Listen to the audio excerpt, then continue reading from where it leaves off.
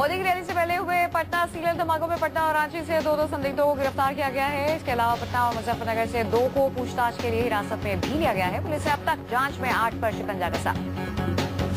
गिरफ़्तार दोनों संदिग्ध आतंकियों के कमरे से अलकायदा आतंकी ओसामा बिन लादेन की तस्वीर जिहादी साहित्य की तस्वीर भी बरामद हुई है। पुलिस धमाकों में इनकी भूमिका की जाँच की जा रही है। राज्य पुलिस ने छापेमारी कर दो डेटोनेटर और प्रेशर कुकर बम भी बरामद किए हैं। पटना सीरियल ब्लास्ट में इसे बेहद अहम सबूत माना जा रहा है। दरअसल सवेरे गांधी मैदान के एलिफेस्टन सिनेमा हॉल के पास धमाका हुआ। यही ये भीड़ ने एक संदिग्ध इम्तियाज़ को धर दबोचा था, जिससे पूछताछ के बाद पटना पुलिस को रांची में आतंकी ठिकाने की जानकारी मिली थी। मामले में गिरफ़्तार हुआ पहला शख्स रांची का रहने वाला है और कल शाम को गिरफ़्तार होने वाले ये दोनों शख्स भी रांची के ही रहने वाले हैं।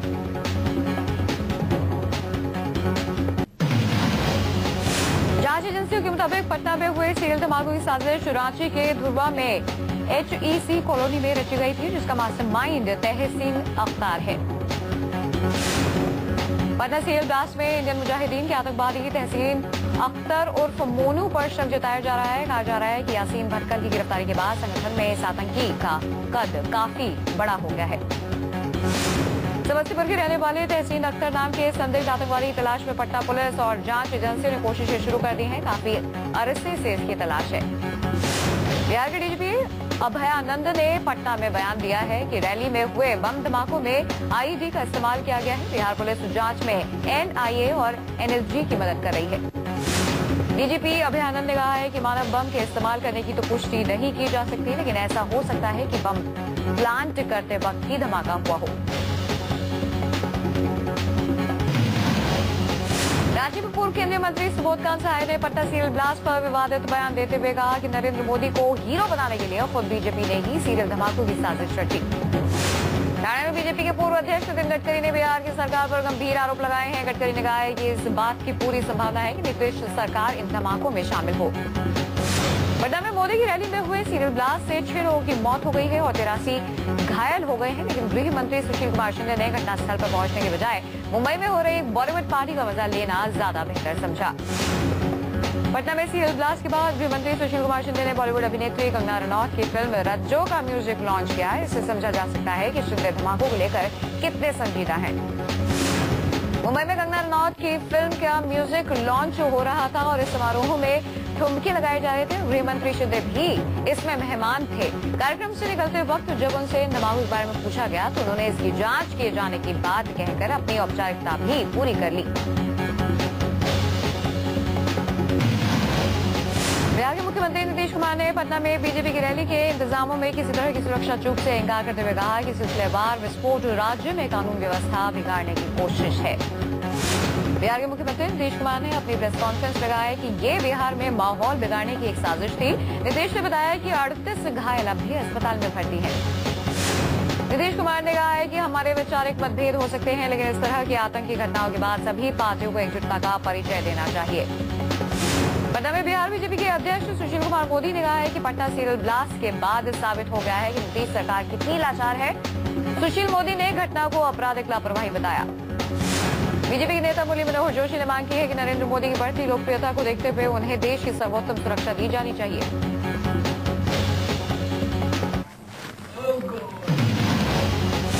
बीजेपी नेता अश्विनी चौबे ने पटना रैली में धमाके के बाद अस्पताल में दौरा कर घायलों से मुलाकात की। चौबे ने नीतीश सरकार पर डाकर सूबे में राष्ट्रपति शासन लगाने की मांग की। बीजेपी के प्रवक्ता निर्मला सीतारमण ने पटना सीरियल धमाकों के लिए जेडीयू और बिहार सरकार की तुष्टिकरण की नीति को जिम्मेदार ठहराया है। कांग्रेस महासचिव दिग्विजय सिंह ने ट्वीट कर पटना में हुए विस्फोटों की कड़ी निंदा की है। दिग्विजय ने कहा है कि नीतीश को दोषियों का पता लगाना चाहिए, नहीं तो इससे बिहार में मोदी के कदम जम जाएँगे। लोक जनशक्ति पार्टी के नेता रामविलास पासवान ने पटना में हुए बम विस्फोटों के लिए बिहार के मुख्यमंत्री नीतीश कुमार की निंदा करते हुए कहा कि इस घटना ने सुशासन के नीतीश के दावे की पोल खोल दी है। मोदी की रैली से एन पहले हुए पटना सीरियल ब्लास्ट के बाद पूरे देश में बीजेपी के कार्यकर्ताओं में गुस्से की लहर, आगरा में धमाकों के खिलाफ बीजेपी ने ज़बरदस्त विरोध प्रदर्शन किया।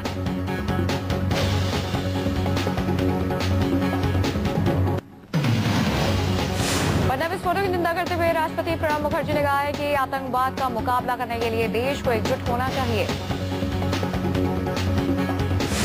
पटना बम विस्फोटों पर गहरा दुख व्यक्त करते हुए कांग्रेस अध्यक्ष सोनिया गांधी ने कहा है कि इस तरह की विध्वंसकारी और कायराना हरकत हमारे लोकतंत्र पर प्रहार करने के लिए की गई है।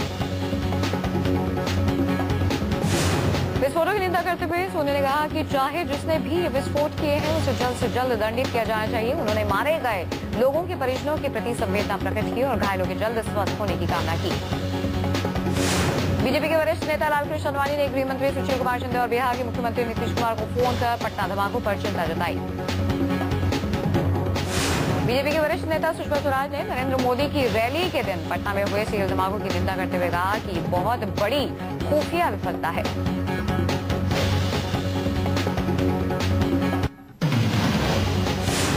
केरल के मुख्यमंत्री उमान चांदी के सिर पर चोट लग गई। सोलर स्कैम को लेकर एडीएफ के कार्यकर्ताओं ने पत्थरबाजी की। मुख्यमंत्री के सिर पर पत्थर लगने से खून निकलाया। मुख्यमंत्री Oommen Chandy Kerala police annual athletic meet और कांग्रेस के एक पब्लिक प्रोग्राम में हिस्सा ले रहे थे। इसी दौरान वो लेफ़्ट वर्करों के गुस्से का शिकार हुए।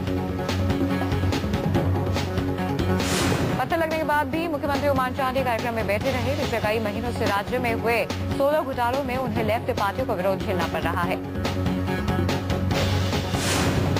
गोदा दंगों में जाकिर जाफरी की अर्जी पर अहमदाबाद कोर्ट का अहम फैसला। आज मोदी को क्लीन चिट के विरोध में डाली थी अर्जी। एसआईटी ने गुजरात के मुख्यमंत्री को दी थी क्लीन चिट दिल्ली के पटियाला स्पेशल कोर्ट में कैश फॉर वोट मामले में बेहद अहम सुनवाई। आज अमर सिंह के खिलाफ आरोप तय करने पर आ सकता है फैसला। बीजेपी के दो नेताओं पर भी तय होंगे आरोप।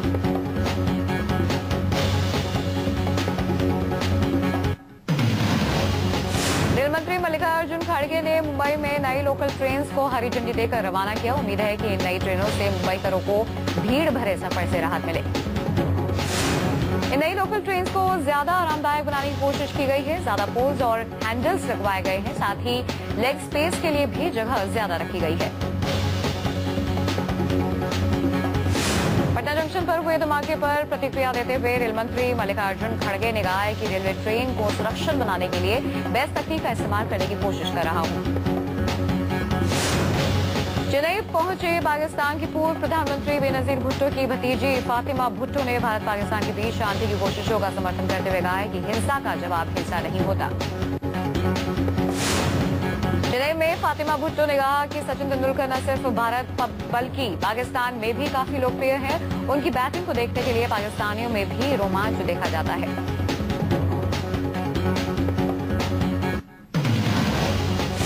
जोधपुर के चौका गाँव में बाईपास पर टक्कर के बाद गैस टैंकर में भीषण आग लग गई। एचपीसीएल के टैंकर की टक्कर लगने के बाद गैस रिसाव हुआ जिससे आग ने विकराल रूप धारण किया। जोधपुर में आग के पास घर और जंगल की झाड़ियाँ जलकर खाक हो गई। मौके पर सेना के जवान और फायर ब्रिगेड के दस्ते ने आग पर काबू पाया। में अचानक एक कार में आग लग गई। कार सवारों को सावधानी से पहले ही बाहर निकाला गया। फायर ब्रिगेड की दो गाड़ियों ने कार में लगी आग को बुझाया। मेरठ के नगर निगम कार्यालय में आज देर रात को अचानक आग लग गई। दमकल विभाग के करीब आधा दर्जन गाड़ियों ने जैसे तैसे आग पर काबू पाने की कोशिश की। मेरठ के नगर निगम के रिकॉर्ड रूम में लगी आग से काफ़ी दस्तावेजों को नुकसान पहुँचा है उनके नष्ट होने की आशंका जताई जा रही है। प्रशासन ने आग की वजहों को पता लगाने की कोशिशें शुरू कर दी हैं।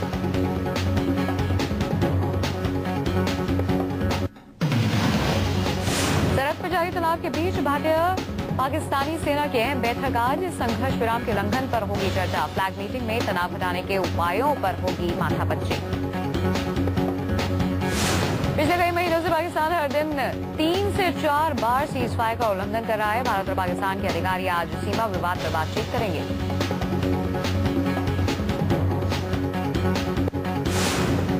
दार्जिलिंग में गोरखलैंड की मांग को लेकर विरोध प्रदर्शन एक बार फिर शुरू हो गया है। जीजेएमएम के चीफ बिमल गुरांग ने कहा कि जब तेलंगाना बन सकता है तो गोरखालैंड क्यों नहीं? बीती रात मुंबई के जोगेश्वरी इलाके में हरेश महात्रे नाम के एक व्यापारी के घर तकरीबन 60 लाख रुपए की चोरी हुई। हरेश महात्रे और उनकी पत्नी के मुताबिक पिछले पच्चीस सालों से उन्होंने ये रकम खुद की शॉप खरीदने के लिए जमा की थी, लेकिन फाइनल डीलिंग से पहले ही चोरी हो गई।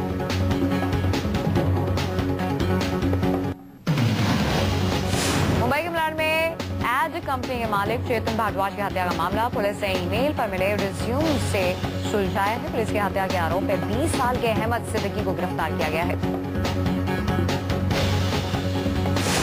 पुलिस के मुताबिक एड कंपनी मालिक चेतन भारद्वाज के अहमद सिद्दीकी से एक साल से शारीरिक संबंध थे। 15 अक्टूबर की रात सिद्दीकी के साथ संबंध बनाने के लिए चेतन ने ज़बरदस्ती की, साथ ही अश्लील वीडियो से ब्लैकमेल करने की धमकी भी दी, जिससे गुस्साए अहमद ने उसका कत्ल किया। मुंबई के मलाड इलाके में स्थित रुस्तम जी टावर्स में 16 अक्टूबर के दिन एड एजेंसी के बिजनेसमैन चेतन भारद्वाज की हत्या के बाद पूरे अपार्टमेंट में सनसनी फैल गई थी। राजस्थान के सीकर ज़िले में एसएससी के एग्ज़ाम सेंटर में नकल करने के आरोप में सत्तर छात्रों को गिरफ़्तार किया गया। चेकिंग स्क्वाड ने इन सभी सत्तर छात्रों के पास से नकल के लिए हाईटेक तकनीकी से लैस कई उपकरण भी बरामद किए। छात्रों के पास से ब्लूटूथ डिवाइस मिले।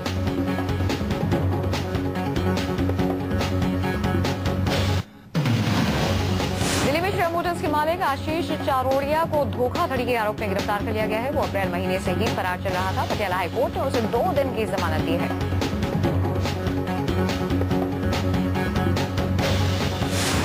कुपवाड़ा के हंदवारा से पुलिस ने एक संदिग्ध को गिरफ़्तार कर लिया है। पुलिस को शक है कि गिरफ़्तार शख्स का संबंध आतंकी संगठन जैश ए मोहम्मद से है।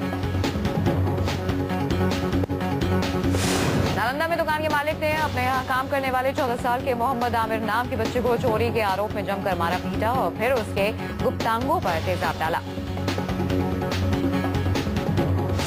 झारखंड के बोकारो ज़िले में दुग्धा नाम की जगह पर ग्रामीणों ने जमकर हंगामा किया। सड़क दुर्घटना के बाद घुसाए गाँव वालों ने कई गाड़ियों को आग के हवाले किया।